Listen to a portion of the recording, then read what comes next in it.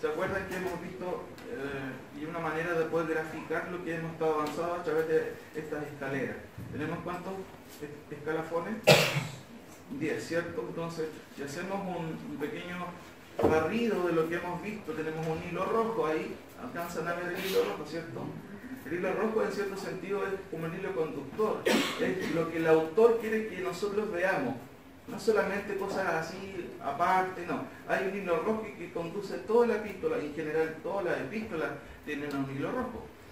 Eh, el primer capítulo nos habla de la última voz de Dios, ¿cierto? Porque dice claramente que Dios habiendo hablado, ¿cierto? Si me acompañan ahí, muchas veces y de muchas maneras en otro tiempo a los padres por los profetas, en estos postreros días, cuando desde Cristo en adelante nos ha hablado por quién?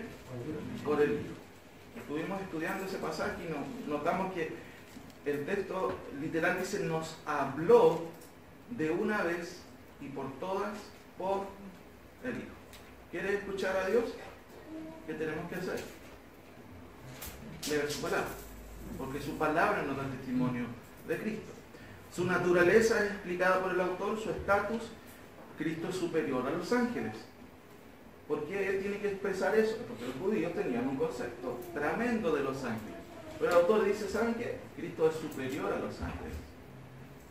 Recuerden que la audiencia era mayoritariamente judíos. Los judíos tienen toda una historia, ¿cierto?, del judaísmo y ciertas creencias, y se les presenta este Mesías que rechazaron en general, pero el autor está tratando de poder exhortarlos a ellos para que crean en este Cristo, en este Mesías. Su misión, en el capítulo 2, su función sacerdotal, el llamado a creer, ¿cierto? Ahí en el peldaño 6, peldaño 7, el peligro de la incredulidad. Si oyeres hoy su voz, no endurezcáis vuestros corazones, no se pongan duros. Crean en lo que Dios ha hecho. Eso es lo que estaba haciendo el autor y evidentemente eso también es un llamado para nosotros. Si Dios está hablando a tu vida, no te hagas el sordo. No endurezcas tu corazón. Peldaño 8, el verdadero reposo. Los israelitas siempre tuvieron una meta, llegar a la tierra prometida. Pero el autor dice que eso, esa, llegar a ese lugar donde fluía leche, ¿qué más? Miel, ¿cierto? ¿Y Coca-Cola? no? No, no, había Coca-Cola. Leche y miel, ¿cierto? Esa era la idea de que ellos podían tener su propia tierra, ¿cierto? Pero el verdadero reposo no es ese. Él nos habla de otro reposo, de estar en Cristo. Peldaño 9, el poder de la palabra de Dios. Un texto, ¿cierto?, muy conocido porque la palabra es viva y eficaz y más cortante que toda espada de dos filos y penetra hasta las coyunturas y diciendo los pensamientos del corazón y sigue así el, versículo. Eh, peldaño 10, el llamado a creer en Cristo otra vez, ¿cierto? Y si seguimos subiendo, bueno, antes de ir, vemos algunas, el hilo rojo ¿cierto? El hilo rojo, recuerden que es el tema principal que va siendo adornado por, por otras temáticas que son relevantes e importantes. Por ejemplo, ahí en el versículo 1, capítulo 1, versículo 3, dice que Cristo efectuó la purificación. Alguien se podría preguntar, ¿y qué, qué, significa eso? ¿Que lavó, lavó ropa el Señor Jesucristo? No, Significa que murió en la cruz para purificar los pecados de quienes? De los pecadores. ¿Cuántos de aquí son pecadores? ¿Cuántos tienen necesidad de Cristo entonces? Todos nosotros. Entonces, claramente hay un hilo ahí que tiene que ver con la purificación. Pero después el autor va revelándose cada vez más. Es cuando esto, es cuando una persona, un hombre se declara a la mujer, empieza con rodeo, ¿cierto? ¿O no? Y después va y le dice, ¿quieres pololear conmigo? Empieza rodeando. No es que el autor está haciendo eso, pero en cierto sentido sí lo hace porque él está de a poquito, ¿cierto?, revelando su intención. Empieza diciendo que él efectuó la purificación. Imagínense para un judío escuchar eso. ¿Pero a qué se referirá? Pero ya en el capítulo 3 él nos dice, considerar, tomen en cuenta ¿A quién? Al apóstol y sumo sacerdote. O sea, llama a Cristo apóstol, que significa enviado. Y lo llama también sumo sacerdote. Recuerden que sumo significa máximo sacerdote. Y después finalmente en el 4.11 él dice, ya tenemos nosotros un sumo sacerdote. No solamente él empieza un poquitito a revelar, ¿cierto? Que Cristo es sacerdote, sino que ya en el 4 ya de lleno él dice, crean en este sumo sacerdote porque tenemos nosotros un sumo sacerdote. Y este sacerdote es superior, es mejor, y así sucesivamente. Tenemos también más escalafones. Capítulo 5, el autor tiene que hablar, si habla de Cristo como, sumo sacerdote, ¿a quién fue entregado esa labor en el Antiguo Testamento? A Aarón y a sus hijos. Y hay un pequeño problema, porque Aarón pertenecía a la tribu de Leví, pero Jesús no era de la tribu de Leví, era de la tribu de... ¿Cómo entonces puede ser sacerdote?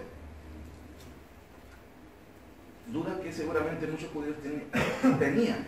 Es entonces que ahí el autor, en el capítulo 5, eh, peldaño 12, como ven ahí ustedes, nos va a hablar de una orden diferente a la orden de Aarón.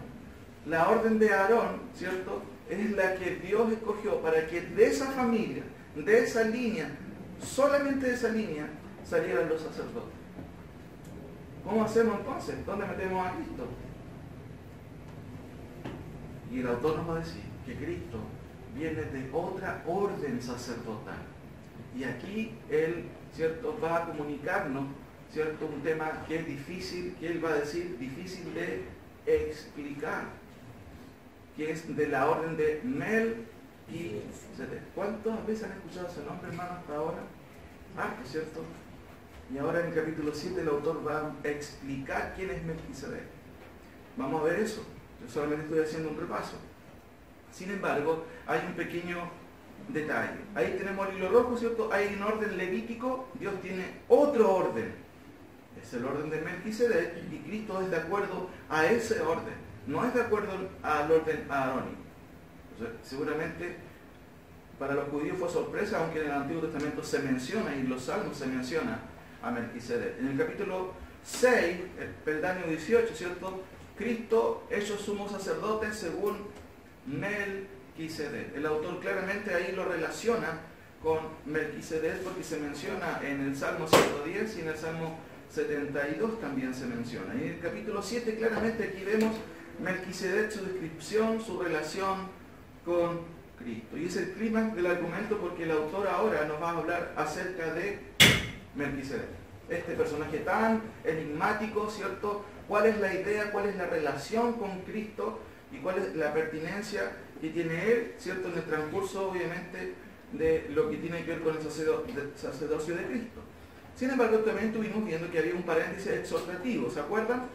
Había un problema, un llamado y una imposibilidad. Capítulo 5, versículo 11, me acompañan, solamente estamos haciendo un repaso el, autor quiere de lleno explicar quién es Melquisedec, pero se encuentra un problema. Y tiene que hacer una pausa y un paréntesis. Y él va a decir en el capítulo 5, versículo 11, acerca de esto, ¿qué es esto?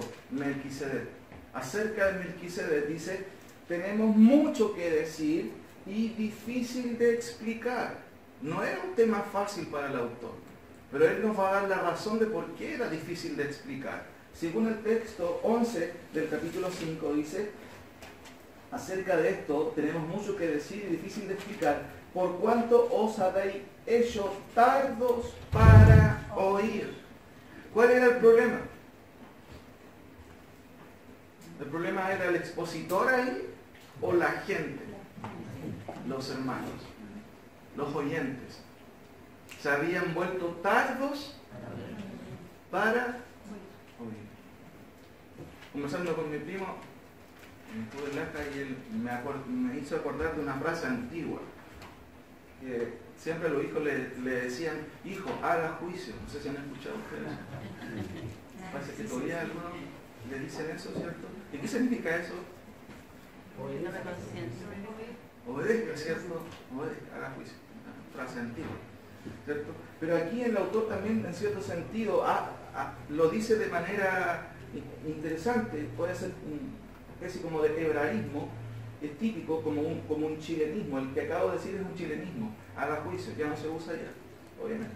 Pero él dice, por cuánto os habéis hecho tardos para oír, porque debiendo ser qué cosa, maestros, por tanto tiempo todavía tenemos que darle papilla.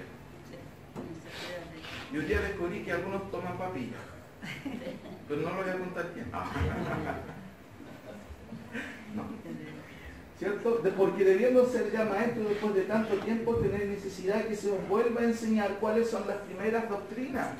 Ustedes llevan 20 años en la iglesia, dice el autor, y todavía quieren saber de la salvación. No es posible. ¿Cómo podemos hablar de Melquisedec si todavía no tienen claro si son salvos o no? Entonces, obviamente hay un paréntesis exhortativo y se produce una tensión ahí. Siempre cuando hay problemas, hay exhortación, se produce tensión. Pero hay una distensión teológica, que significa que hay una especie como de, relajo. ¿En qué sentido? No relajo en el sentido de, flojera, sino hay un aliento de parte del autor, ¿cierto? En el capítulo 6, ahí claramente vemos 6.9, porque el autor los trata fuertemente, de hecho, le dice, eh, porque todo el que participa de la iglesia es inexperto. ¿A quién le gusta que le llaman inexperto? Creo que nadie. Pero ellos eran inexpertos. Y a veces en nuestra iglesia sucede esa situación. ¿Cierto? A 6.1 dice, por tanto, dejando ya los rudimentos de la doctrina de Cristo, vamos adelante a la perfección. Él nos anima, ya no se queden pegados, sigamos avanzando. Sigamos avanzando en el conocimiento de Cristo. Después, ¿cierto? En el capítulo 9 va a decir, pero en cuanto a vosotros, sus amados, estamos persuadidos de cosas mejores y, que pertenecen a, la salvación, aunque hablamos así. ¿Cómo? Aunque hablamos así, aunque hablamos fuerte, aunque hablamos duro. Porque de hecho, cuando dice el autor en el versículo 4, porque es imposible que los que una vez fueron iluminados y gustaron del don celestial y fueron hechos partícipes del Espíritu Santo y asimismo gustaron de la buena palabra de Dios y los poderes del siglo venidero recayeron, sean otra vez renovados para arrepentimiento, crucificando de nuevo para sí mismo al Hijo de Dios y, exponiendo el vituperio. No puede ser, no puede ser. Es imposible que usted haya vivido toda esta experiencia y nuevamente crucifique a Cristo y nuevamente se arrepienta. Eso no es posible, a menos que usted nunca haya conocido a Cristo. Entonces que el autor dice, pero en cuanto a vosotros os amados, ¿cierto? Estamos persuadidos de cosas mejores y que pertenecen a la salvación, aunque hablamos así, o sea, aunque hablamos duramente, aunque hablamos fuertemente. Ahora, eso en cierto sentido es la introducción. Pero nos quedan otros dos peldaños más. Llegamos al peldaño 20 y 21, en donde el autor va a hablar de qué? Claramente de Melquisedec y ahora divide el tema en dos partes. Primero, ¿cierto? Ahí todavía tenemos el hilo rojo y él nos va a hablar de la descripción de Melquisedec. ¿Quién es este Melquisedec? Ya tenemos algunas ideas de quién es. Cristo pertenece a la orden sacerdotal de Melquisedec, no a la orden sacerdotal de Aarón. Por tanto, tiene sí en cierto derecho a ser sacerdote, porque Dios lo estableció de acuerdo a la profecía, de acuerdo a los salmos. De hecho, en Salmos claramente se menciona a Cristo como, ¿cierto?, de acuerdo o engendrado del Padre, pero también sacerdote según el orden de Melquisedec, ¿cierto? Salmo, ahí lo vemos en Salmo 110, en 72 también. Pero también, como segundo escalafón, vemos la preeminencia de Melquisedec. Dos cosas que esta mañana mi intención es que la podamos ver, al menos la primera parte, que es la descripción de Melquisedec. Entonces la pregunta es Melquisedec. ¿Quién es Melquisedec? Como ustedes ya leyeron en parte, vemos algo de ello. Aquí está, ¿cierto? En el capítulo 7, la información, ¿cierto? Del registro civil acerca de Melquisedec. ¿Quién es Melquisedec? Pero tenemos algún problema, porque en el capítulo 3 dice que es sin padre. ¿Cómo es eso, sin padre? ¿Qué más nos dice? Que ahí tenemos algunos problemas. ¿Cómo es eso sin madre? Sin genealogía. Que ni tiene principio ni de día ni de fin. De vida, perdón, sino hecho semejante al Hijo de Dios. ¿Será como Dios? ¿Qué era? Una figura de Cristo. La figura de Cristo, sí dice Manoján, dice que permanece para siempre como sacerdote. Sin embargo, no vamos a llegar hoy día hasta ahí. Pero eso nos muestra que es bien especial este personaje, Melquisedec. Ahora, acompáñenme por favor, porque esta mañana vamos a leer harto la Biblia. Todos trajeron Biblia, ¿cierto? El que no trajo Biblia, ¿cierto? Ah, ya esa talla es muy antigua. Porque, voy a leer el 1 y el 2 porque ahí nos vamos a dedicar esta mañana. Porque este Melquisedec, rey de Salem, sacerdote del Dios Altísimo, que salió a recibir a Abraham, que volvía de la derrota de los reyes, y le bendijo, a quien asimismo dio Abraham los diezmos de todo, cuyo nombre significa primeramente rey de justicia y también rey de Salem, esto es, rey de, de paz. ¿Cierto? Tenemos ahí un antecedente. Fíjense que el autor es muy interesante lo que está haciendo, porque él habló al principio de los ángeles. ¿Y quién es superior? Cristo los ángeles. Cristo, obvio, es superior. Pero también él mencionó a otro personaje importante de la vida de Israel. ¿Quién fue? Antes de hablar mencionó a otro personaje. Aludió a otro personaje. Moisés. ¿Y quién es superior? ¿Moisés o Cristo? Cristo es superior. ¿Y ahora quién menciona? ¿A qué tercer personaje menciona la importancia? A Abraham. ¿Se acuerdan cuando Jesús conversa con los fariseos y ellos dicen que no eran esclavos de nadie? Somos hijos de Abraham. Somos hijos de Abraham. Tenemos sangre de, de la línea de Abraham. ¿Y tú cómo dices que podemos ser libres? Porque Jesús le dice que el que al Hijo libertare será verdaderamente libre. Y ellos respondieron, nosotros somos hijos de Abraham, no hemos sido esclavos nunca de nada. Pero eran esclavos de qué? Del pecado. Eran esclavos de su propio corazón. Eran esclavos de sus propias mañas.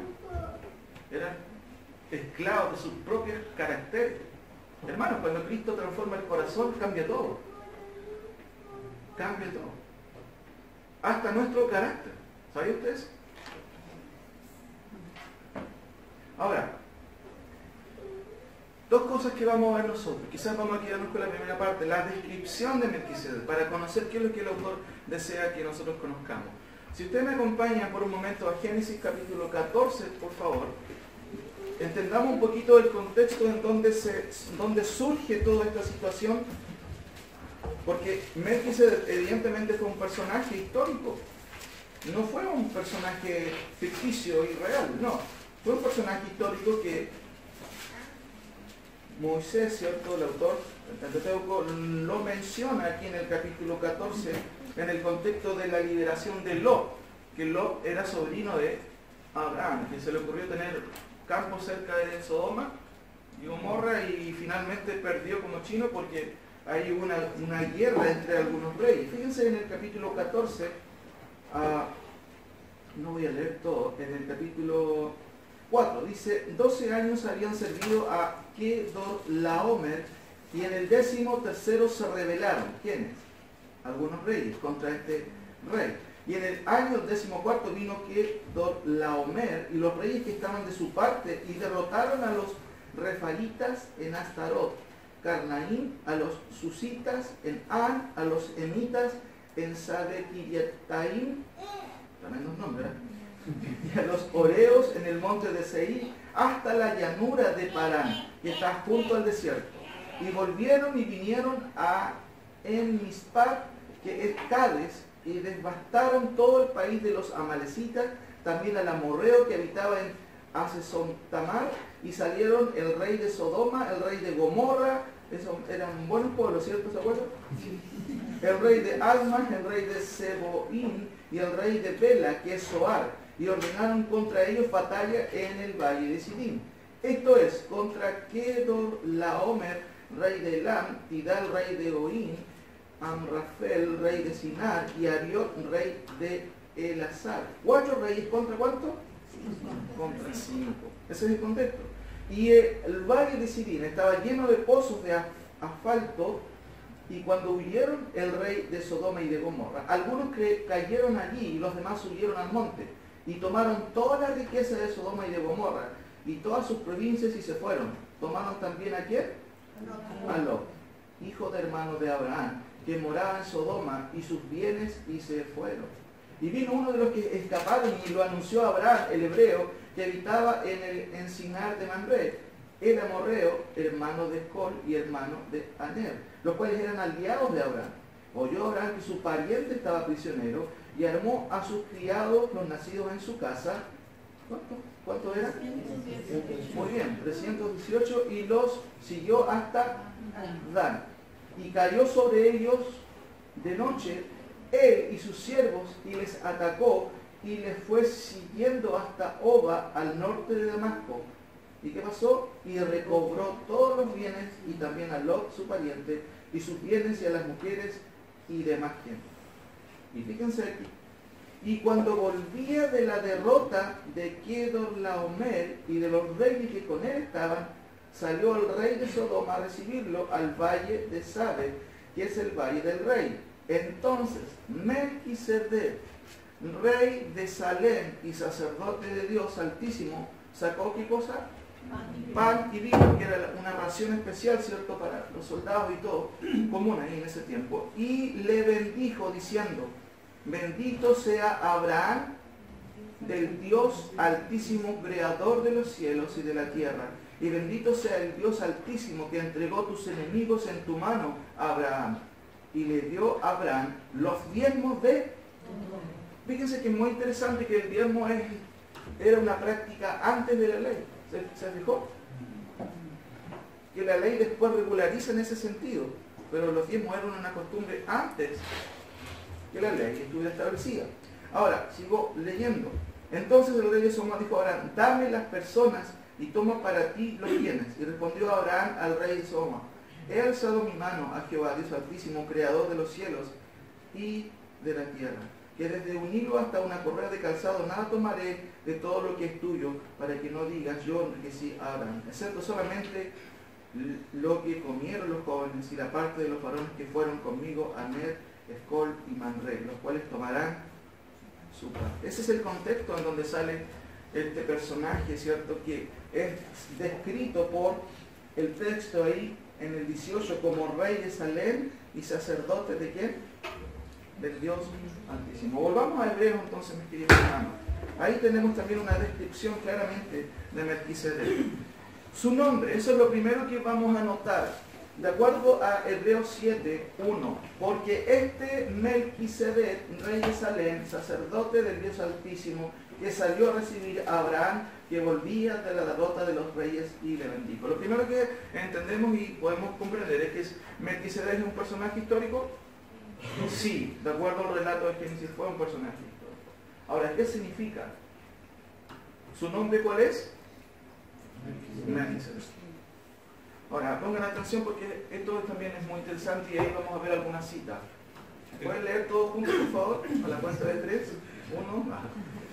Melquisedec, que es muy interesante. Ahí dice Melquisedec. Melec viene Melqui de la palabra Melec, que significa rey. Y es una palabra compuesta, si se dan cuenta, ahí tienes una separación, ¿cierto? Y esta palabrita se lee sedet, y sedet significa justicia.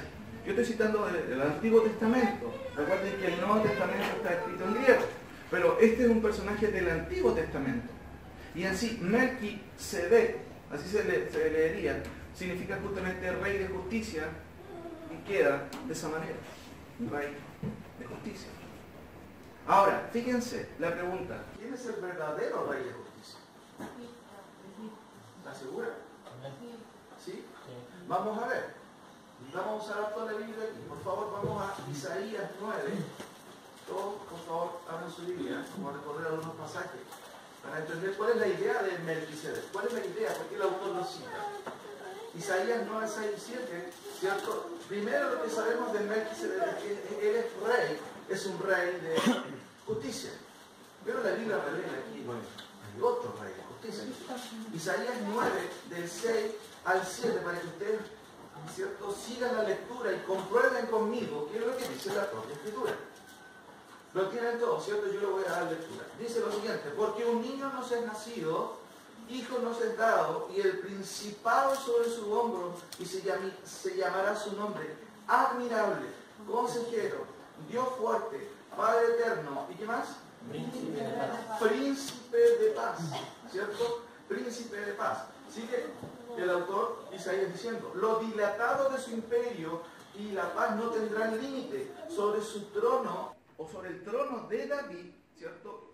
Y sobre su reino, disponiéndolo y confirmándolo en juicio, ¿y qué más? Desde ahora y para siempre. ¿Quién va a hacer eso? El celo de Jehová. El celo de Jehová de los ejércitos hará eso. Entonces tenemos el primer versículo y claramente vemos aquí el concepto de paz también, pero aquí el énfasis es justicia. Dice que va a disponer el trono de esta persona, el trono de este rey, en justicia, desde ahora y para siempre. Isaías, por favor, 11.4. Isaías 11.4, otro pasaje también que nos habla acerca del Mesías. Todos estos pasajes tienen que ver con el Mesías. Sino que juzgará, en el contexto está hablando del Mesías. ¿Cómo va a juzgar él? Con justicia a los pobres y huirá con equidad por los mansos de la tierra y herirá la tierra con la vara de su boca y con el espíritu de su labio matará a quién? O sea, va a llegar un momento en que este rey va a actuar. Mire lo que dice, sino que jugará con justicia. ¿A quiénes? A los pobres. ¿Qué es lo, que- qué es lo que piden los pobres? ¿Y qué es lo que han pedido históricamente toda la vida? Justicia. Justicia, justicia, justicia, justicia. ¿Qué sistema político le ha dado justicia a los pobres? Ninguno. Hay, otros, hay sistemas que son mejores, evidentemente, pero ¿qué, qué, qué sistema humano puede dar realmente plenitud al hombre? ¿Puede dar justicia?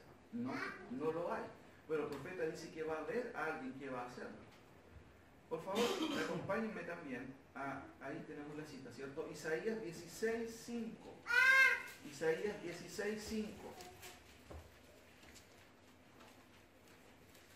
Isaías, mis queridos hermanos, escribe aproximadamente eh, en, en el año 700 antes de Cristo.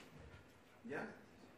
Ah, en este caso quedaba solamente una porción de las tribus de Israel. Estaba ya eh, parte de Israel, ¿cierto? En el, sí, en el, a punto, en el caso de las tribus del norte, de ser invadidas por el imperio asirio. Entonces, el autor Isaías está exhortando rápidamente, con urgencia, que Israel se vuelva a Dios para que se evitara esa situación. La historia revela que no sucedió así y que Israel fue deportado por los asirios. Pero dentro de ese contexto Israel está llamando al arrepentimiento, al arrepentimiento, pero Dios sabe que Israel no iba a volver a Dios, porque adoraban los ídolos, ¿cierto? se apartaron de Dios y el juicio de Dios estaba ya, como se dice, a caballo, a, a punto de llegar.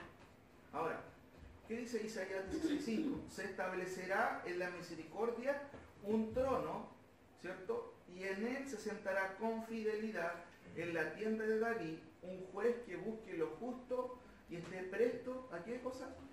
A la justicia. Hermano, eso apunta al Mesías.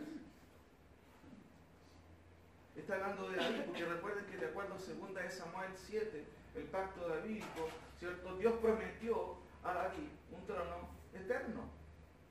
No sin interrupción, porque hubo una interrupción. Y de hecho todavía no vemos a Cristo entronado en su trono. Está en el cielo intercediendo por nosotros.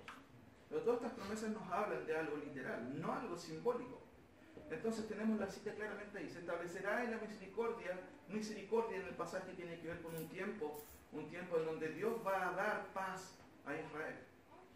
Y claramente dice el texto, misericordia, un trono en la misericordia y en él se sentará con fidelidad la tienda de David un juez que busque lo justo y esté presto a la justicia como nunca lo hubo en Israel.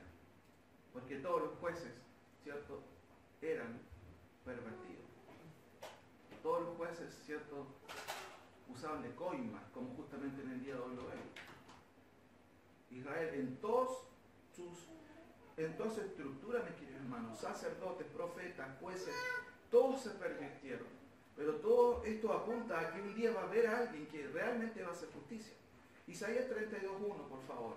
Isaías 32.1. También el contexto son pasajes que tienen que ver con un Mesías, el Mesías que nosotros conocemos, ¿cierto? El Mesías que hace dos mil años vino y nació. Dice el 32.1, he aquí que para justicia reinará, ¿qué, qué cosa?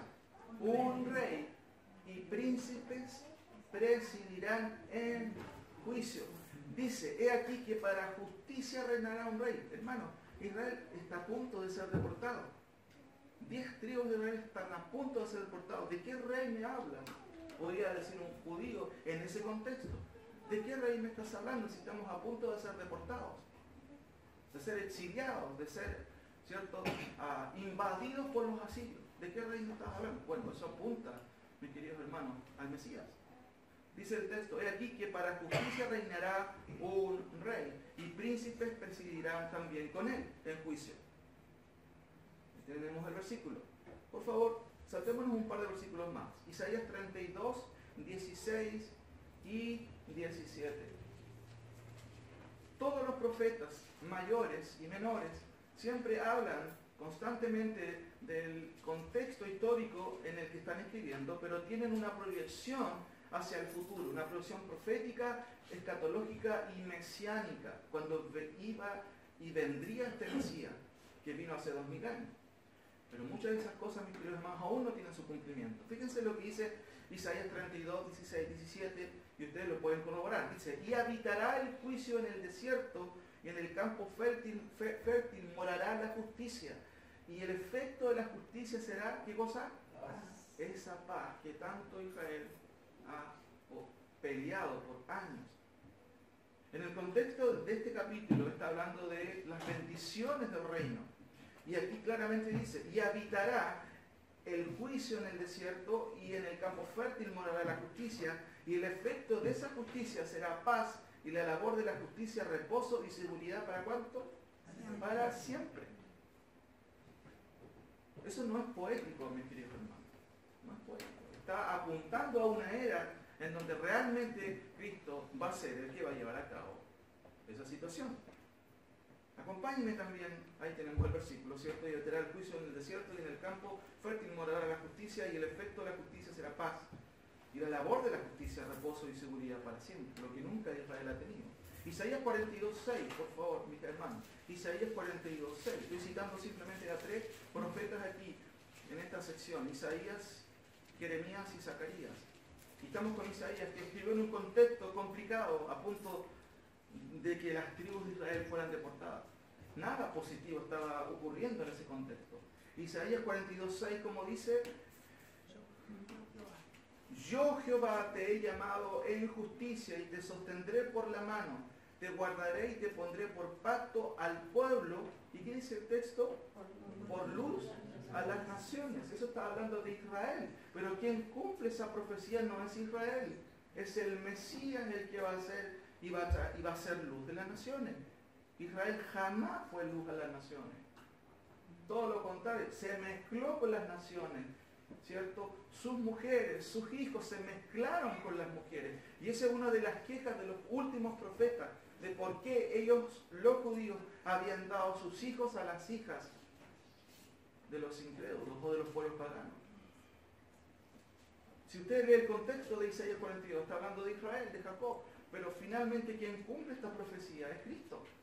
Dice el texto, yo Jehová te he llamado en justicia y te sostendré por la mano, te guardaré y te pondré por pacto al pueblo, por luz a las naciones. Ahora, Isaías 45, otros capítulos más adelante, 45, versículos 23 y 25, por favor.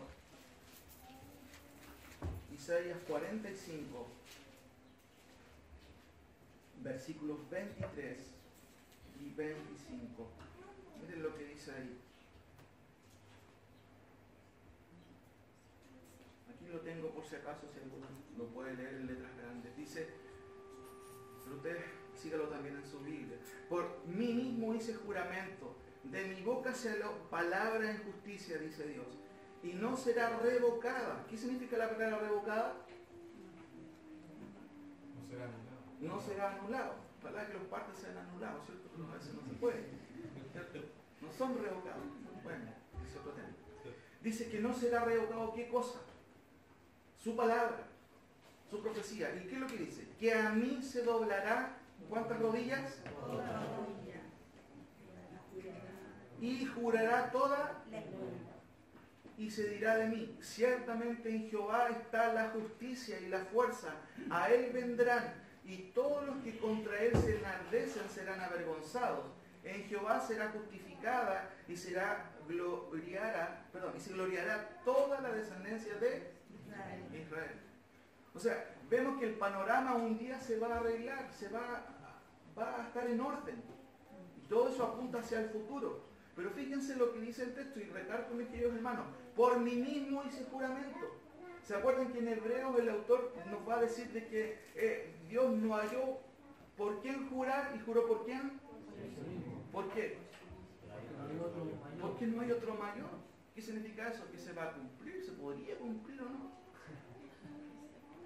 Se va a cumplir sí o sí. Aunque tú no creas, se va a cumplir. El texto dice, por mí mismo hice juramento de mi boca, salió palabra de justicia y no será revocada, que a mí se doblará toda rodilla. ¿Qué es toda rodilla, hermano? Y los que no creen en Dios también. Vamos a eso al final. Isaías 51, 2. Saltemos nosotros capítulos más. 51, capítulo 51, versículos 2 al 5. Dice el texto ahí. Ahí está. El 2 al 5. Leo del 1. Oídme los que seguís la justicia, los que buscáis a Jehová. Y eran muy pocos. Siempre se habla del remanente en el Antiguo Testamento. Remanente es el poquitito, lo que queda. Cuando uno va a comprar, el vuelto. ¿Y cuánto queda? Poco, ¿cierto? Bueno, remanente significa eso. En el Antiguo Testamento, remanente de Israel siempre se refiere a los vivos, a la gente que realmente ama a Dios. Dice, oíme los que siguen, seguís la justicia, los que buscáis a Jehová. Mirad a la piedra de donde fuisteis cortados y al hueco de la cantera de donde fuisteis arrancados. Mirad a Abraham, vuestro padre, y a Sara, que os dio a luz, porque cuando no era más que uno solo, lo llamé y lo bendije y lo multipliqué. Abraham, ¿cierto? El padre de la nación de Israel. Ciertamente consolará Jehová a Sión. ¿Qué es Sión? Jerusalén. Jerusalén. Es otro nombre para Jerusalén. Consolará todas sus soledades y cambiará su desierto en paraíso y su soledad en huerto de Jehová. Se hallará en ella alegría y gozo, alabanza y voces de canto. Recuerden, el autor está escribiendo en qué contexto? Previo. Previo, a la deportación. O sea, los judíos estaban diciendo, ¿de qué está hablando Isaías? Si ya no están invadiendo los asirios. ¿De qué está hablando? ¿De qué está hablando él en el capítulo cuando dice ciertamente consolará a Sion? Eso no se veía en el contexto en donde escribe Isaías. ¿Por qué? Porque eso está apuntando al final, hermano. En otro tiempo. Y sigo leyendo. 4. Estar atento a mí, pueblo mío, y oírme, nación mía, porque de mí saldrá la ley y mi justicia para luz. ¿De qué? ¿Cuándo ha ocurrido eso? Eso nunca ha ocurrido. Dice el versículo 5, cercana está mi justicia, ha salido mi salvación, y mis brazos juzgarán a los pueblos. A mí me esperan los de la costa, y en mi brazo ponen su esperanza. Alzad a los cielos vuestros ojos y mirad abajo a la tierra, porque los cielos serán deshechos como humo, y la tierra se envejecerá como ropa de vestir, y de la misma manera perecerán sus moradores, pero mi salvación, estoy leyendo 6, será para siempre. Mi justicia no... El autor sigue diciendo e insistiendo que su justicia no va a quedar ahí. Algún día va a cumplirse. Isaías 51, 9 al 11, estamos ahí en el mismo capítulo, Pero mire lo que dice el 9 al 11. Sigue hablándonos. Hermano, yo estoy solamente haciendo una pincelada de los profetas. Simplemente una pincelada. Si estudiáramos todos los profetas, bueno, ahí tendríamos para hartos años. Pero solamente mencionando algunos versículos. El 9 dice, despiértate, despiértate, vístete de poder, oh brazo de Jehová. Despiértate como en el tiempo antiguo, en los siglos pasados. ¿No eres tú el que cortó a Raab? Y Raab tiene que ver ahí un nombre, no es Raab, ¿cierto? Eh, la ramera, no, no, la que obviamente conoció a Dios. Es Egipto, es una forma de mencionar a Egipto. ¿No eres, la que, no eres tú el que cortó a Raab o Egipto y el que hirió al dragón? ¿No eres tú el que secó el mar, las aguas del gran abismo, el que transformó en camino las profundidades del mar para que pasaran los redimidos? Ciertamente volverán los redimidos de Jehová. En el contexto, ¿quiénes son los redimidos de Jehová? ¿Quiénes? Israel. Es Israel, no hay, aquí no vemos a la iglesia. Ciertamente volverán los redimidos de Jehová, volverán a Sión. ¿Qué es Sión? Jerusalén, cantando y con gozo perpetuo habrá sobre sus cabezas, tendrán gozo y alegría, y el dolor y el gemido que pasará con ellos, o que pasará, huirán. Hermano, Isaías está escribiendo en un momento complicado. Pregunto, y yo me pongo en el lugar de los judíos, ¿qué está diciendo Isaías? Si estamos siendo invadidos, ¿por qué él está hablando de que vamos a ser consolados? Nuestro temor se va a ir. ¿Por qué le está diciendo eso? ¿Qué pasa con todas estas promesas? Sigo leyendo un poco. Recuerden que estamos viendo quién es el verdadero rey de justicia. Daniel 9:24, otro pasaje bien especial. Daniel 9:24. ¿En qué contexto escribe Daniel? ¿Se acuerdan ustedes? En el exilio. ¿Cómo? En el exilio. En el exilio. ¿Qué significa la palabra exilio? Una palabra muy usada en nuestro país, ¿cierto? Mal usada también diría yo. El exilio es una persona que es deportada de su país, sacada por, por una situación militar, política, y no puede vivir en su país. Y es echado fuera, como le sucedió a un, a un apóstol en el Nuevo Testamento. ¿Se acuerdan quién fue? Juan. ¿Y qué hizo Juan ahí en Pasmos? escribió la escribió porque fue deportado por cristianos, ¿cierto? Por seguir aquí. Pero en el Antiguo Testamento mucha gente fue deportada. Israel fue deportado. Y Daniel está escribiendo, ¿cierto? Ahí, exiliado. No está en, un living viendo Netflix. ¿Me entiendes? No. Está deportado. Ahora, leo el 24. Fíjense qué interesante esto. Capítulo 9. Capítulo 9, el versículo 20. Noten por favor lo que tiene en Biblia. 20. Miren qué interesante el contexto. Dice, aún estaba hablando y orando y confesando mi pecado y el pecado de mi pueblo. Por favor, ¿quién es el pueblo de Daniel? Ah, perfecto. Claramente está, ¿sí o no? Israel. Y derramaba mi ruego delante de Jehová mi Dios por el monte santo de mi Dios.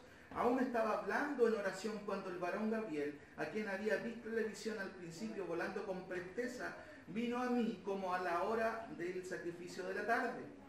Y me hizo entender y habló conmigo diciendo, Daniel, ahora he salido para darte sabiduría y entendimiento. Al principio de tu ruego fue dada la orden de parte de Dios y yo he venido para enseñártela, porque tú eres muy amado. Entiende pues la orden y entiende la visión. Ahora, 24. 70 semanas están determinadas sobre tu pueblo, ¿quién es el pueblo de Daniel? Y tu santa ciudad. ¿Cuál es la santa ciudad? Jerusalén. Jerusalén. ¿Para qué cosa? O sea, van a ocurrir 70 semanas y después de eso van a ocurrir un montón de acontecimientos. ¿Cuáles son los acontecimientos que van a ocurrir? Para terminar la prevaricación. Primero, hay que entender eso. ¿Qué es prevaricación? Hace un tiempo un juez fue acusado de prevaricación. Y salió en el diario. ¿Nunca han escuchado esa palabra? Prevaricación. Suena como pecado así. Puede ser no aplicar la justicia. Va por ahí, pero la palabra prevaricación es faltar a tu responsabilidad. Es hacer lo contrario a lo que fuiste llamado a hacer. ¿Qué hace un juez? Aplica justicia. Aplica justicia. La palabra prevaricación incluye que los sacerdotes, los profetas, los jueces, los reyes cometieron todos, ¿qué cosa? Prevaricación. Nunca hicieron lo que Dios les mandó a hacer. Pero dice que después de estas 70 semanas se va a terminar la prevaricación. Sí. Dice, 70 semanas están terminadas para tu pueblo, ¿cierto? Para terminar la prevaricación y poner fin al pecado. Hermano, poner fin al pecado. En el día de hoy, ¿hay pecado? ¿Cuándo se va a terminar el pecado? En un escenario que no es este, ¿sí o no? Sí. Por supuesto, en un escenario futuro. Dice el texto, y expiar la iniquidad para traer la justicia. ¿Qué tipo de justicia? Perdurable. Perdurable. Hermanos, ¿quién puede traer la justicia perdurable? Espiritualmente hablando, ¿quién trajo justicia a nuestros corazones frente a un Dios que está airado con el pecador todos los días? Cristo. ¿Y usted está a cuenta con Dios? La Biblia dice, ¿cierto? Claramente que los incrédulos, obviamente, están bajo juicio de Dios. Pero Cristo apareció para qué? Para librarnos de ese juicio. Nosotros hemos arreglado las cuentas con el Señor.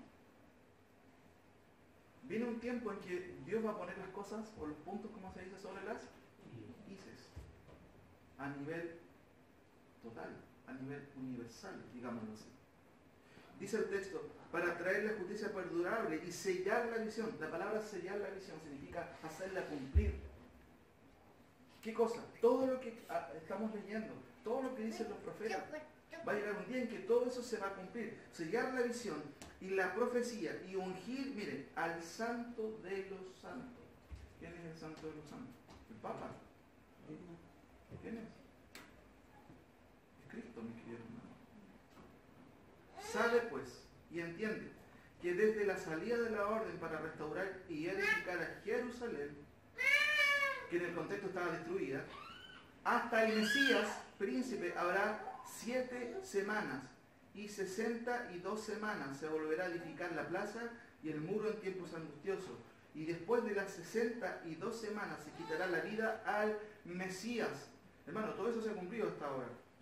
Mas no por sí. Y el pueblo de un príncipe que ha de venir destruirá la ciudad y el santuario, y su fin será con inundación, y hasta el fin de la guerra durarán las devastaciones.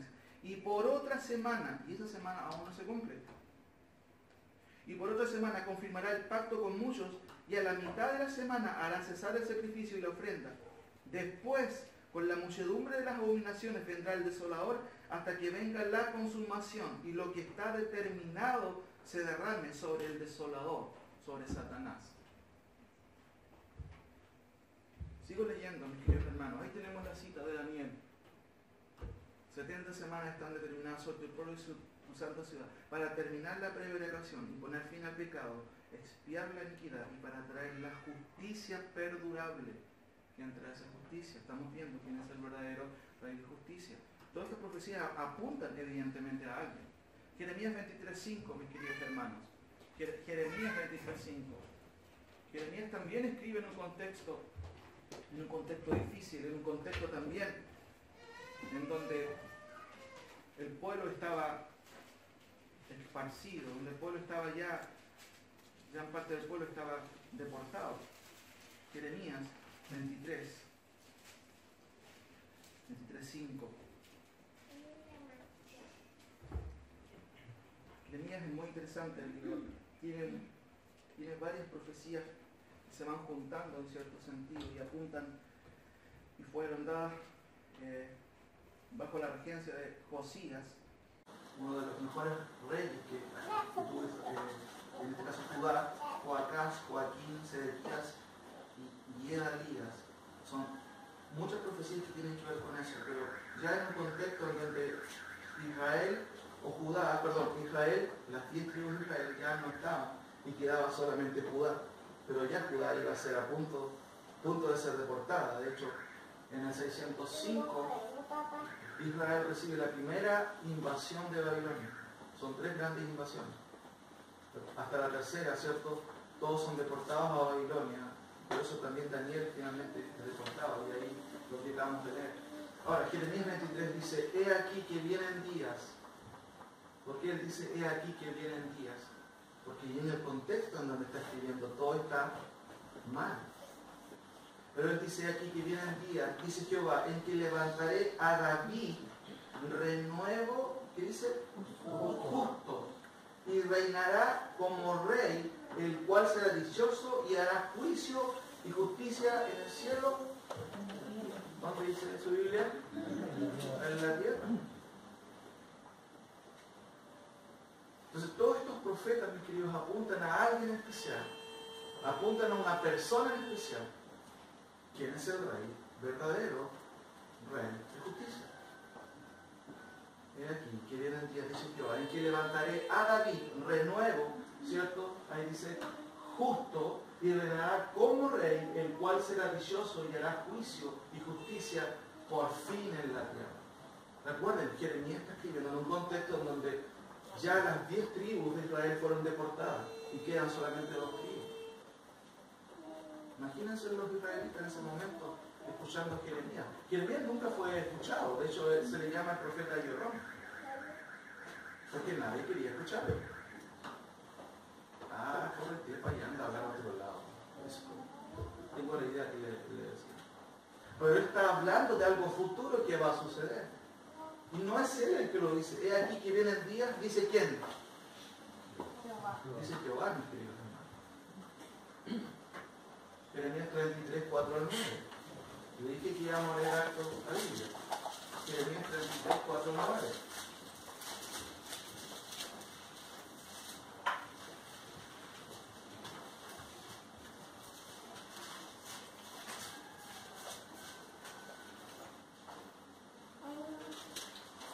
Leo ahí, ustedes me siguen también, por favor, hermano. 33, 4 al 9. Voy a leer del 1. Vino palabra de Jehová a Jeremías la segunda vez estando él, aún como estaba. Eso. Está todo bien, ¿cierto? Está todo mal, hermano. Preso en el patio de la cárcel diciendo, así ha dicho Jehová, que hizo la tierra, Jehová que la formó para firmarla, Jehová es su nombre. Jehová describe al profeta quién es Jehová. Acuérdate quién soy. Soy el que hizo la tierra. Yo soy Jehová, que formó para firmarla. Acuérdate, no te olvides quién soy yo, dice Jehová a Jeremías. Clama a mí y yo te responderé. ¿Y dónde está Jeremías? Siempre citamos este versículo, ¿cierto? Fuera de su contexto. Pero este es el contexto en donde está escribiendo. Clama a mí yo te responderé y te enseñaré cosas grandes y ocultas que tú no conoces. ¿Y qué es lo que le va a revelar? Él no le va a revelar a él con quién se va a casar. Jeremías, no, él no está pensando en eso. O en el trabajo que va a tener. No, las gra- grandes cosas que ocultas son las profecías que Dios está dando ahí en el contexto. No tiene que ver con cosas que a veces nosotros ahí metemos en el texto. Dice el versículo 4, porque, y al tiro con una explicación ahí con función explicativa, porque así ha dicho Jehová, Dios de Israel, acerca de las casas de esta ciudad y de las casas de los reyes de Judá, derribadas con arietes y con asas, porque vinieron para pelear contra los caldeos, para llenar de cuerpos de hombres muertos, a los cuales herí yo con mi furor y con mi ira, pues escondí mi rostro de esta ciudad a causa de toda su maldad. He aquí que yo les traeré sanidad y medicina y los curaré y les revelaré abundancia de paz y de verdad. 7. Y haré volver los cautivos de quién? De Judá y los cautivos de... Ahí tiene la nación. Recuerden, Israel estaba constituida de 10 tribus y Judá de dos tribus. ¿Y ahí suman cuánto? Dos. ¿Pero dónde estaban? Estaban en Israel, todos disfrutando de una economía fructífera, No, estaban cautivos, hermanos. Entonces el contexto claramente dice, y haré volver a los cautivos porque estaban cautivos ya la mitad. No, yo no diría la mitad, el 80% del pueblo. Sigo leyendo. Y haré volver los cautivos de Judá y los cautivos de Israel y los restableceré como al principio. 8. Y los limpiaré de toda su maldad con que pecaron contra mí. Y perdonaré todos sus pecados con que contra mí pecaron y con que contra mí se rebelaron. Y me será a mí por nombre de gozo, de alabanza y de gloria entre todas las naciones de la tierra que habrán oído todo el bien que yo les hago y temerán y temblarán de todo el bien y de toda la paz que yo les haré. ¿Cuándo ocurrió eso? ¿Ha ocurrido eso? todavía no. No ha ocurrido eso. Pero Dios va a establecer eso a través, obviamente, de Cristo. Jeremías 33 y ahí tenemos claramente el pasaje. Zacarías 9.9, uno de los últimos pasajes. Zacarías 9.9, por favor, queridos hermanos.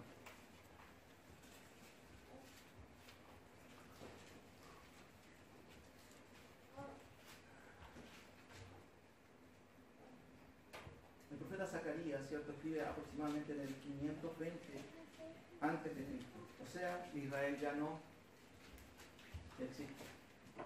Desapareció del mapa. No existe.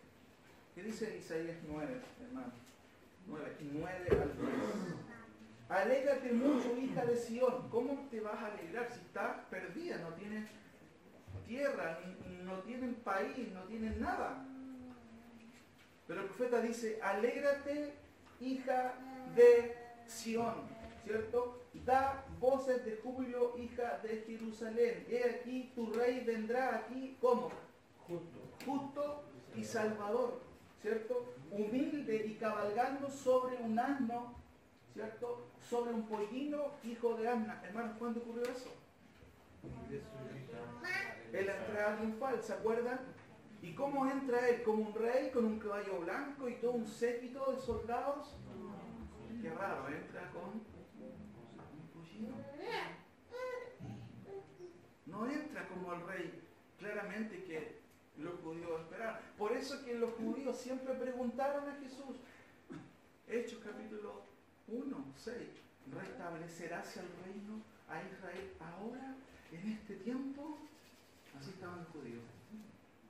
¿Y qué les dice Jesús? ¿Se acuerdan? Hechos capítulo 6. No existe un reino, chiquillos. Les dice eso. Nos toca a vosotros saber los tiempos y las sazones que Dios ha establecido en su sola potestad. A usted no le importa. Dios tiene su carta gana y Él sabe cuándo. Sí, No, no dice su carta gana, perdón. Pero Él dice claramente, hermano, Él no niega esa situación. Pero les dice a ellos, ustedes no les importa las fechas. Dios tiene su, sus días. Pero los judíos pensaban constantemente en eso. Sigo leyendo. Dice el 10, y de Efraín destruiré los carros y los caballos de Jerusalén y los arcos de guerra serán quebrados y habla- hablará paz a las naciones y su señorío será de mar a mar y desde el río hasta los fines de la tierra. Hermano, eso nunca se ha cumplido. ¿Cómo tomamos esta profecía? Nunca fue, nunca será. Algunos lo, toman de esa manera. Ahí tenemos el versículo, de mucho, hija de Sión. Da voces del júbilo, hija de Jerusalén. He aquí, tu rey vendrá aquí, justo y salvador, humilde y cabalgando sobre un asno, sobre un pollino, hijo de Anna. Segunda parte tiene que ver con los juicios, en donde claramente Dios va a establecer lo que Él ha dicho. Leamos estas dos citas que son muy interesantes para finalizar este punto. Malaquías 4, del 1 al 6. Malaquías es el último profeta del Antiguo Testamento, mis queridos hermanos. Y Malaquías evidentemente ya escribe en un contexto diferente, post-exílico. Los judíos en la tierra de Israel volviendo ya por el 450 antes de Cristo, ya algunos habían vuelto a la tierra Israel. que les permitieron volver. Pero saben, hermanos, ellos volvieron a la tierra, pero no volvieron a la tierra que Dios les había prometido, no. Hasta el día de hoy Israel nunca ha disfrutado de la de su tierra, en el sentido político. Jamás ha disfrutado de su tierra. De hecho, Israel no fue reconocido como nación hasta el año 1945, dices tú, si tenía 27 por ahí. Sí, por el hermano Andrés. Las Naciones Unidas reconocen recién, en, esta era, en 1945, Israel como nación. Pero aún así Israel, ¿quién ha ido a Israel usted? A ver. No, nadie, ¿cierto? Pero Israel no goza de libertad política, no goza de libertad geográfica. Nada de lo que los profetas dicen se ha cumplido. Ahora, Malaquías 4, fíjense por favor.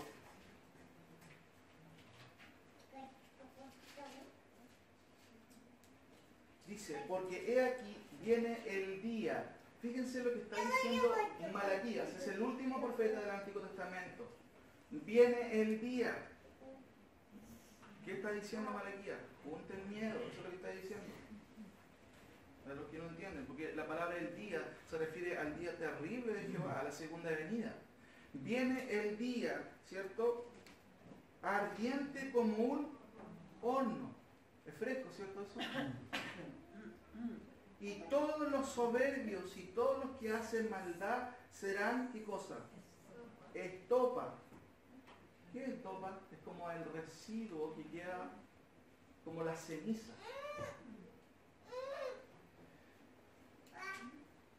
Y todos los que hacen maldad serán estopa. ¿Cuándo? Aquel día. Una frase, una frase técnica del Antiguo Testamento que habla de ese gran día cuando Dios regrese. Aquel día que vendrá los abrazará, ha dicho Jehová de los ejércitos, y no les dejará ni raíz ni rama. Ni raíz ni rama. ¿Qué es lo que cuesta más sacar? La raíz. Tú puedes cortar un árbol, ¿cierto? La raíz. O sea, perdón, ¿cómo se dice? Arras. ¿Pero qué queda? En la casa tenemos un árbol que cortamos ahí. Y la raíz no la podemos sacar. Pero dice acá el texto que Dios no dejará ni raíz ni rama. ¿De quiénes? De los malos, de los soberbios. Y podemos incluir a muchos ahí, de los incrédulos. Más a vosotros, contexto de quién está hablando, a quién está hablando. Mire lo que dice el capítulo 1, versículo 1. Profecía de la palabra de Jehová contra Israel. Israel por medio de quién? Malaquías. Malaquías. ¿Para quién esta profecía? Para Israel. Dice el texto, más a vosotros, los que teméis mi nombre, nacerá el sol de... Más, más dice, los que teméis mi nombre, mis queridos hermanos, no todo Israel. El remanente de Israel. Más los que teméis mi nombre, nacerá el sol de justicia. Hermano, Israel está volviendo a la tierra y no disfruta totalmente de su tierra. Muchos de ellos se preguntaron, ¿y esto cuándo va a acontecer? ¿Cuándo va a nacer el sol de justicia que el profeta Malaquías nos prometió? No lo vemos todavía. Y de hecho hasta ahora no lo ven. ¿Han visto las noticias de este último día, en este último tiempo? Israel sigue con problemas bélicos. Sí. Aún sigue con problemas bélicos. Dice el texto, más a vosotros los que teméis mi nombre, nacerá el sol de justicia, y en sus alas traerá salvación, y saldréis y saltaréis como becerros de la manada. ¿Han visto los becerros saltando? Hollaréis a los malos, significa pise, pisotearéis a los malos, los cuales serán ceniza bajo las plantas de vuestros pies, en el día en que yo actúe. ¿Cuándo va a actuar Dios? Segunda venida. Ah, dice Jehová de los ejércitos, acordaos de la ley de Moisés, mi siervo, al cual encargué ordenanzas y leyes para todo Israel. He aquí, yo os envío el profeta Elías antes que venga el día de Jehová grande y terrible. Él hará volver el corazón de los padres hacia los hijos y el corazón de los hijos hacia los padres, no sea que yo venga y hiera la tierra con maldición. Saltémonos al Salmo 2, por favor, mis queridos hermanos. Salmo 2.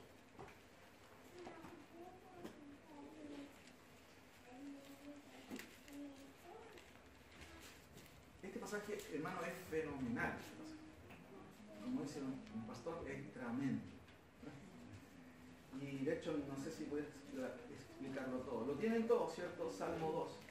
Hay una cosa, hermanos, en, en lo que es la gramática hebrea, que se llama, y es un poco difícil, la heterosis, ¿cierto? Y tiene que ver con cambios. En este caso, en el Salmo 2, está lleno de heterosis verbal, de los tiempos. Por ejemplo, cuando los hebreos escriben de algo que va a acontecer en el futuro, ellos lo escriben como un hecho ya realizado. ¿Por qué razón? Porque los hebreos gramaticalmente usan dos tiempos simplemente, pero también si ven un hecho a futuro decretado por Dios, ellos lo colocan como hecho. ¿Por qué razón? Porque para ellos lo que dice Dios se va a cumplir sí o sí. Heterosis de los tiempos. O sea, cambian ¿cierto? algunos tiempos verbales para darle un énfasis especial. Miren lo que dice este salmo, que es totalmente mesiánico. ¿Por qué se amotinan las gentes y los pueblos piensan cosas vanas? Por ejemplo, en el versículo ahí la palabra piensan o eh, la palabra amotinan literalmente es amotinaron. Pero ¿en qué tiempo verbal se encuentra? En presente. Entonces el texto dice, ¿por qué se amotinaron las gentes? En el original lo que está diciendo el autor es que está viendo un hecho que va a ocurrir en el futuro, pero lo está viendo como realizado, ¿me entiendes? Pero eso todavía no ocurre, porque va a haber un tiempo en que la gente se va a amotinar contra quién. Dice, ¿por qué se amotinan las gentes si los pueblos piensan cosas vanas? Dos, se levantarán los reyes de la tierra y príncipes consultarán unidos contra Jehová y contra quién? Contra su ungido. ¿Cuándo sucederá eso? Hermano, eso es previo a la entrada magistral de Cristo en su segunda venida y a cumplir todas las profecías que tienen que ver con Israel y con su reino. Claramente el texto dice, ¿por qué se amotinan las gentes y los cuales piensan cosas vanas? Se levantarán los reyes de la tierra y consultarán, y de hecho la palabra consultarán, literalmente consultaron. Eso es lo que dice el texto hebreo. Y consultaron unidos. ¿Cómo eso consultaron si todavía no ocurre? Es que va a ocurrir. Por eso el autor lo escribe de esa manera. Y sigo leyendo. Contra Jehová y contra su ungido, diciendo, o dirán, rompamos sus ligaduras. Hay una traducción que lo traduce mejor que dice, hagamos pedazos sus cadenas. No queremos estar más bajo la regencia de Cristo, o de este rey, o de este Mesías. Rompamos sus cuerdas y echemos de nosotros sus cuerdas. ¿Qué va a pasar? Versículo 4. ¿Qué va a decir Dios? El que mora en los cielos se reirá. Se reirá. ¿Se imaginan? Dios se ríe. ¿Sabían ustedes o no? Dice acá eso, ¿no? Se reirá. El Señor se burlará de ellos. Se burla de ellos. Pero ¿de quién se va a burlar, mis queridos hermanos? De todos los impíos que vayan en contra de su pueblo y de- en contra de su ungido. ¿Quién es el ungido? Cristo. Sigo leyendo. Luego hablará a ellos en su furor. ¿Qué es la palabra furor? ¿Conocen ustedes? ¿Han experimentado eso? ¿Se parece a la palabra ira? Furor, ¿cierto? Y los turbará con su ira. 6. Miren. Pero yo he puesto mi rey. ¿Dónde? Sobre Sion. ¿Dónde queda Sion, mi querido hermano? ¿A dónde? ¿En qué tiempo está el he puesto?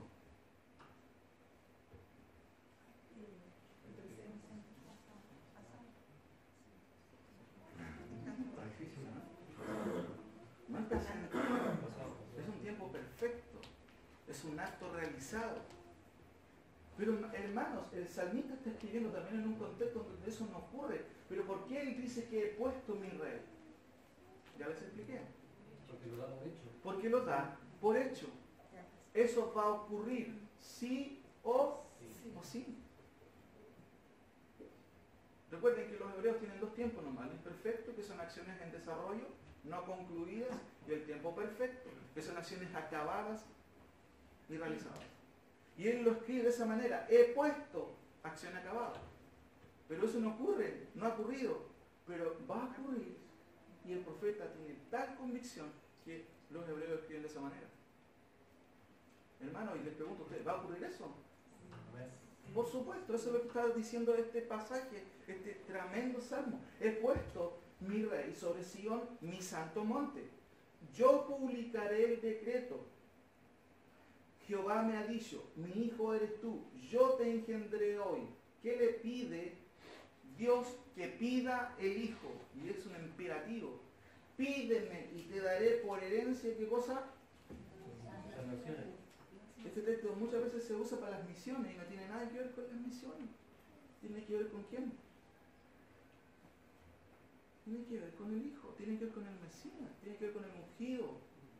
Pídeme y te daré por herencia las naciones y como posesión tuya los confines de la tierra. Los quebrantarás con varas de hierro.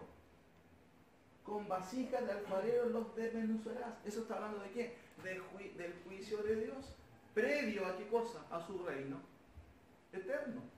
Dice el versículo final, ahora pues, oh reyes, un llamado a quienes? A todos, los grandes de la tierra. Sed prudentes, admitir amonestación. ¿Qué significa admitir amonestación? Aceptar la, la corrección, la reprensión. ¿Es fácil aceptar la reprensión? Levante la mano a los que les gusta ser reprendidos. Nadie.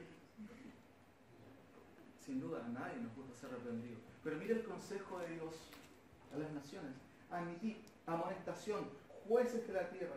Servid a Jehová con temor y alegraos con temblor. Honrad al Hijo para que no se enoje y perezcáis en el camino, pues inflama de pronto su ira. Bienaventurados todos los que en Él están confiando. Esa es como la idea ahí del texto. Hermanos, ¿quién es el verdadero Rey de Justicia? Cristo, ¿cierto? Su nombre. Y con esto termino. Rey de Salem. ¿Qué dice Hebreos 7? Volvamos a nuestro capítulo que estamos estudiando. Primero lo que vemos es que porque este es Melquisedec, sabemos que Melquisedec significa rey de justicia, y de hecho el texto lo dice al final, rey de justicia y también rey de Salem, esto es rey de paz lo menciona. Pero Melquisedec significa eso. Pero también dice que es rey de Salem. Y esto es más corto, no se preocupen, hermano. Melech, ya sabemos que viene de la raíz hebrea Melech y significa rey, ¿cierto? Pero Salem se escribe así, Shalem, Salem. Y muchos eruditos creen que era una ciudad perdida ahí en Palestina. Hay algunos pasajes que hablan de ello. Ah, por ejemplo, en Juan 3.23, no lo busquen, dice, había una ciudad con este nombre, Salem, al norte de Samaria. Sin embargo, lo, más claro y el consenso es que Salem, ¿cierto? Se deriva de este pasaje, o este pasaje nos da luz con respecto a qué podría ser Salem. Fíjense que en este salmo, los salmos siempre tienen paralelismos.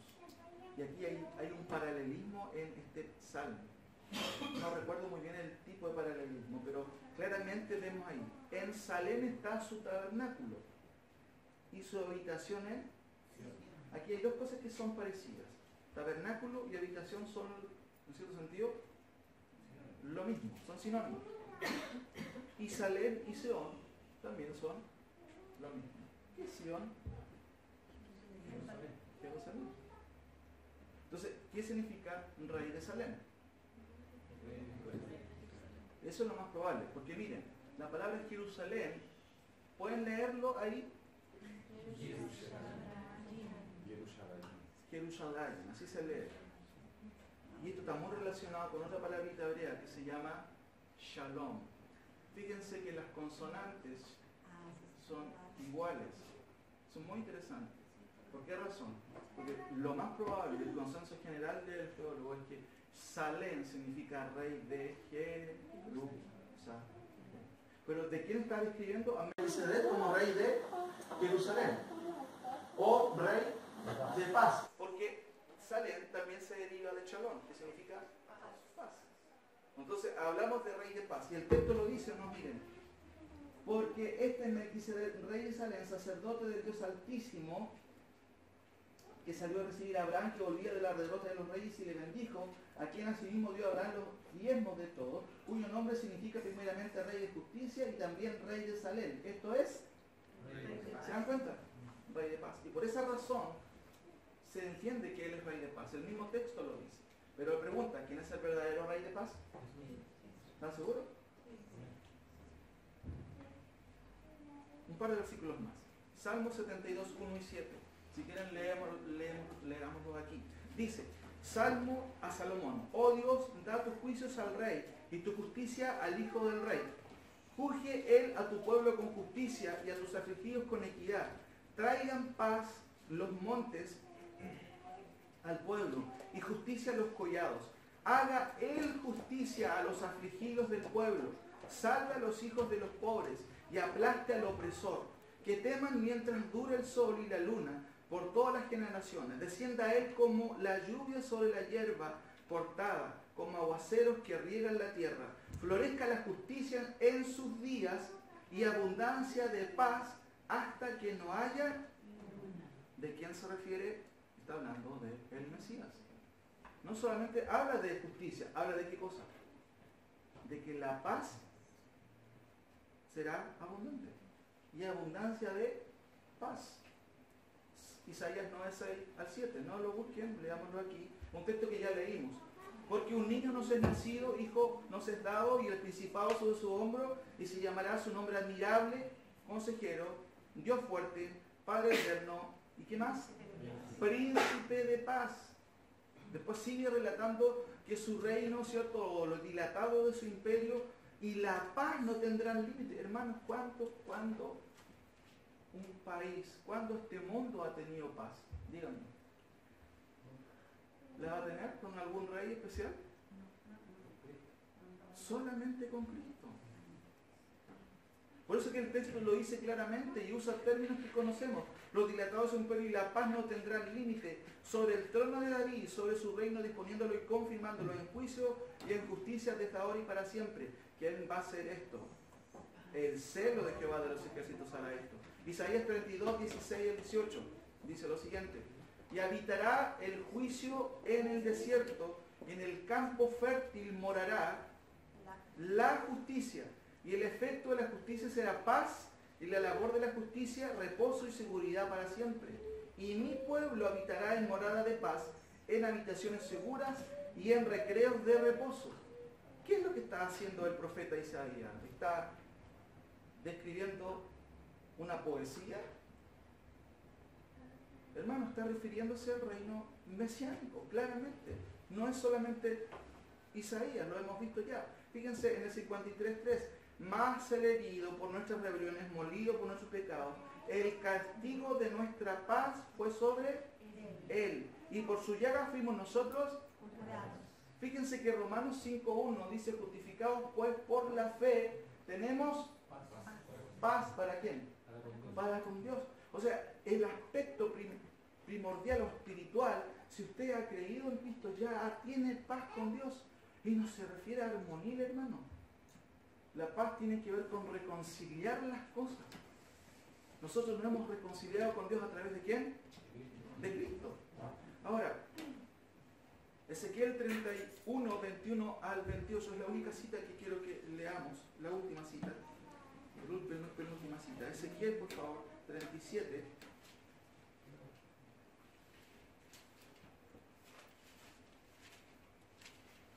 También un profeta que escribe en un contexto difícil, en un contexto de deportación. Ezequiel 37, 21, mis queridos hermanos. 37, 21 al 28. Y les dirás, así ha dicho Jehová el Señor, he aquí yo tomo a los hijos de Israel de entre las naciones a las cuales fueron y los recogeré de todas partes y los traeré a su tierra. Y los haré una nación en la tierra, en los montes de Israel, y un rey será a todos ellos por rey, y nunca más serán dos naciones, ni nunca más serán divididos en dos reinos. Hermano, ¿cuándo va a suceder eso? Es algo profético, claramente. No se contaminarán ya más con sus oídos, con sus abominaciones y con todas sus rebeliones, y los salvaré de todas sus rebeliones con las cuales pecaron, y los limpiaré, y me serán por pueblo, y yo a ellos por Dios. Mi siervo David será sobre ellos. En el contexto, David ya murió, qué vato. ¿A quién se refiere? Un descendiente de David. Fíjense, y todos ellos tendrán un solo pastor, y andarán en mis preceptos, y mis estatutos guardarán, y los pondrán por obra. Habitarán qué cosa? En la tierra que di a mi siervo Jacob, en la cual habitaron vuestros padres, en ella habitarán ellos, sus hijos, y los hijos de sus hijos, ¿para cuándo? Para siempre. Y mi siervo David será príncipe de ellos para siempre, y haré con ellos pacto de paz, pacto perpetuo será con ellos, y los estableceré, y los multiplicaré, y pondré mi santuario entre ellos para siempre.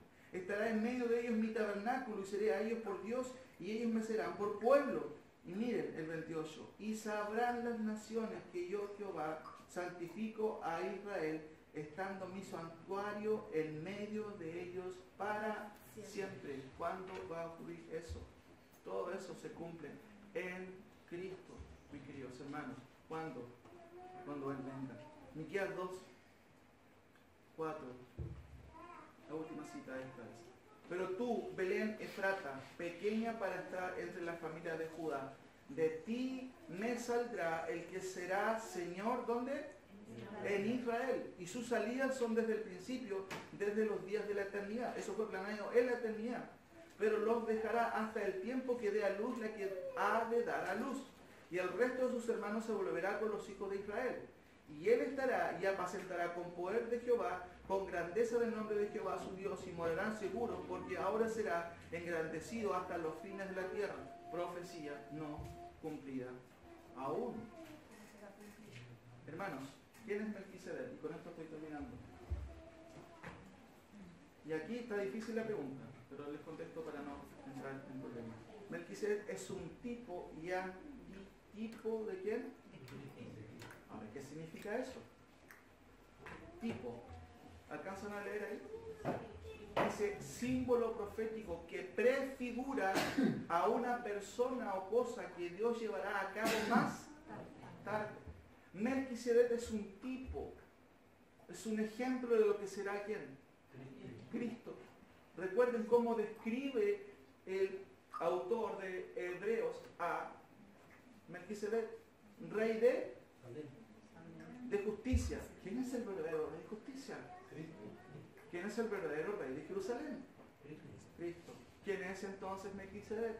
Es un tipo de Cristo y también un antetipo. ¿Qué significa antetipo? perdón, antítipo significa la verdad o realidad anticipada y prefigurada, revelada por un tipo. ¿Quién es este tipo en el contexto en que estamos leyendo? Melquisedec. Entonces, mis queridos hermanos, pregunto de nuevo. Si Melquisedec es tipo y tipo de Cristo, ¿quién es, hasta aquí Cristo para el autor? Otra vez les pregunto. Si Melquisedec es tipo y antitipo de Cristo, ¿quién es hasta aquí Cristo para el autor? ¿Cómo? Ya estamos claros en eso porque creo que lo hemos repetido mucho. ¿Es sumo sacerdote sí o no? Sí. Pero fíjense en esta figura. Cristo cumple estos tres, conceptos. A ver si ustedes captan la idea. Hasta aquí Cristo cumple con esos tres aspectos que el autor está diciendo. Mi querido hermano. ¿Qué ven aquí ustedes? Los tres, son, los tres reflejan a Cristo. Pero en Cristo se cumplen tres, aspectos que tienen que ver con sus funciones, digámoslo así, con lo que el autor de Hebreos ha dicho. Hermano, ¿qué empezó diciendo el autor de Hebreos en el capítulo 1? que Dios, habiendo hablado por los profetas, Hoy nos ha hablado por el Hijo. hoy nos habló por el Hijo. Definitivamente, no hay más profetas, fue el último. Entonces, ¿qué viene siendo Jesucristo? ¿Qué papel cumplió? El último profeta. Como profeta. ¿Fue profeta o no? Sí. ¿Por qué? Dios habló por él. Porque Dios habló, pero ese Dios habló por él como, es como, es como, como que le falta eso. Porque ¿quién era Cristo? Mandó un profeta. ¿Quién era Cristo? O sea que ¿quién vino a hablarnos? Dios mismo vino a hablarnos. No nos mandó un profeta. ¿Se dan cuenta de la connotación? No nos mandó un profeta. ¿Vino quién? Él mismo. No nos mandó una carta, un mail. Vino Dios mismo a hablarnos. ¿Qué más cosas quieres, hermano? ¿Qué más luces? ¿Qué, más señales? Si vino Dios mismo, ¿qué significa eso? Cristo es máximo profeta. Pero vemos otra cosa. Cristo murió en la cruz. ¿Qué función cumple? ¿Cuál es el hilo rojo hasta ahora? Cristo es el máximo profeta. Porque no mandó un mensajero, Él vino por sí mismo. Pero ¿qué hace en la cruz? Es nuestro sustituto. Es nuestro sustituto. ¿Y cómo se llaman a los sustitutos? En el Antiguo Testamento. Las ofrendas. ¿Y quiénes llevaban esa ofrenda? Los. Pero Cristo cumple dos cosas en, en- en sí mismo. Él es la ofrenda. ¿Y qué más? Entonces, ¿cómo le podemos llamar a eso? Cristo cumple la función de... Hermano, ¿eso se ha cumplido hasta ahora? ¿Están seguros o no? ¿Se cumplió sí o no? Ya. ¿Qué habla el autor de Hebreos en última instancia de Cristo? Cristo resucitó, ascendió a los cielos, pero vuelve. ¿Qué otro aspecto de sus características le falta por cumplir?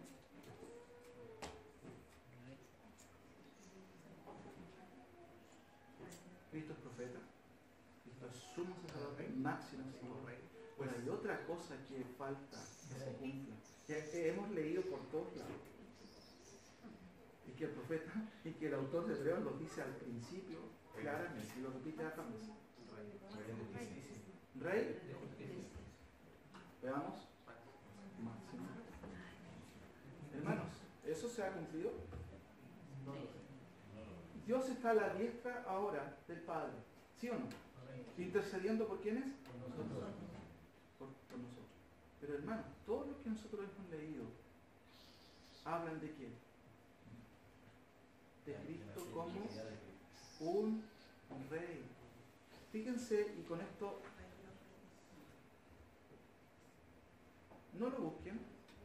Apocalipsis 17, 14, al final de Apocalipsis, ¿cierto? Que es un libro cronológico claramente. Eso uno lee al, final, al principio y el bosquejo propio nos da Juan, las cosas que has visto, las cosas que serán y las cosas que serán después de esta. Ahí tienes todo el bosquejo de Apocalipsis. Y al final habla de Cristo y nos dice, pelearán contra el Cordero. ¿Por qué van a pelear contra el Cordero? Hemos visto que todos los profetas hablan de ese día terrible y que todos van a ir en contra y contra el ungido de Jehová. Salmo 2, ¿se acuerdan? ¿Por qué se amotinan las gentes? Como que estuviera hablando en el presente, pero eso está hablando de lo que va a suceder cuando? En el futuro. Y todos están en contra del ungido de Jehová, Cristo. Bueno, Apocalipsis 17 nos está revelando lo que está sucediendo ese día. Pelearán contra el Cordero. ¿Quién es el Cordero? Cristo. Y el Cordero los vencerá porque Él es Señor de señores y Rey de reyes. Y los que están con Él son llamados y elegidos. ¿Y qué más? Qué interesante. Los que están con Él son los que fueron llamados, elegidos y fieles. Una característica de que tú eres elegido y que eres llamado es que eres fiel. ¿Eres fiel? No fiel a mí. ¿Eres fiel a Dios? Es una pregunta que tienes que responderte tú. Apocalipsis 19.6 Y en su vestidura y en su muslo tiene escrito este nombre. ¿Se acuerdan? Rey de reyes y Señor de señores. Mis queridos hermanos, Isaías 45, 23 decía que dice Jehová y él no va a revocar su palabra. ¿Qué cosa? Que toda rodilla se va a doblar ante él. Busquen Filipenses 2.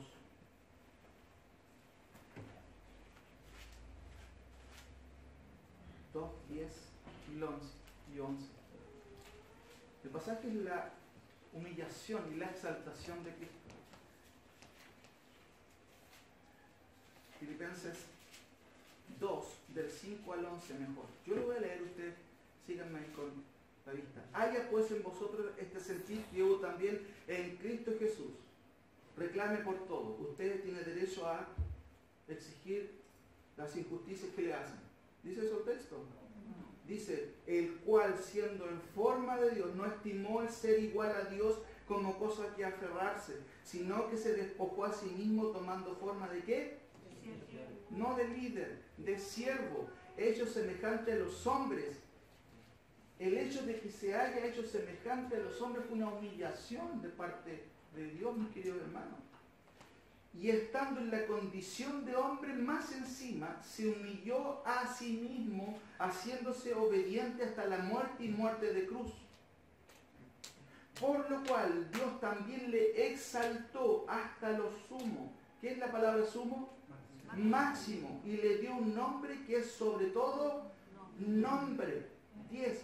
Para que en el nombre de Jesús se doble toda rodilla de los que están en los cielos y en la tierra y debajo de la tierra.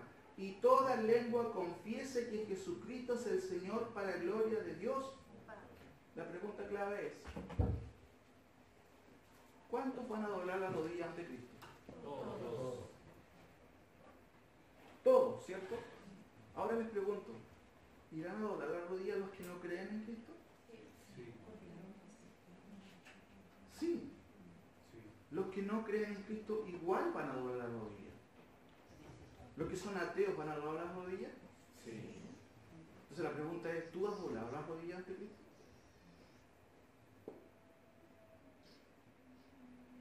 ¿Qué más vale? ¿Doblar las rodillas ahora? ¿Ahora? ¿Están escuchando? ¿Ahora o después? Cuando estés, golpeando tus rodillas de temblor, cuando tengas que doblar tus rodillas en el juicio. ¿Qué vale mejor? ¿Doblar las rodillas ahora? ¿Cierto que es más sabio? Hermano, su palabra se va a cumplir. Todos van a doblar, doblar sus rodillas. Esta, no- esta, esta mañana, esta tarde ya, hemos visto Melquisedec. Solamente una parte, la descripción de Melquisedec, que es un tipo, que, ¿y tipo de quién? De Cristo. Porque ¿quién es el verdadero rey de justicia? ¿Quién es el verdadero rey de paz? Fíjense que justicia y paz van siempre juntos. Gracia y, y paz, dice Pablo. Si quieres tener paz, tienes que tener- estar a cuentas con Cristo. Porque si no, igual vas a doblar las rodillas. Y mira, eh, queridos hermanos, el hombre pierde igual a la larga. Si rechaza a Cristo, pierde igual. Por eso si hay aquí alguna visita que no ha arreglado sus cuentas con el Señor, doble sus rodillas. ¿Cuándo? Ahora. Ahora, no después. Cuando esté a punto de ser echado al lado. Oremos.